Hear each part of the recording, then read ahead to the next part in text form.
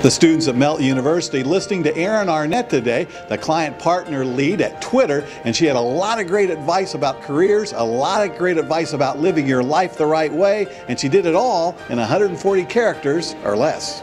Anything that's customer facing, um, you kind of have to be able to take no 80 for 80% of the time and you know really be focused on bringing ideas and solutions and know that most of those are going to get knocked down and then the 20% that get implemented. Um, that's the rewarding part.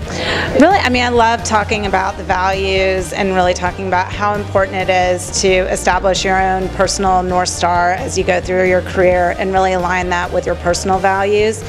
Um, you're going to have a lot of ups and downs as you go throughout your career, but it's important to have that North Star to kind of guide you when you go through the down periods. She really emphasized building your reputation and establishing your trade skills, and I think that was really great, you know, for us to learn about and to really think about on our way, like entering our career.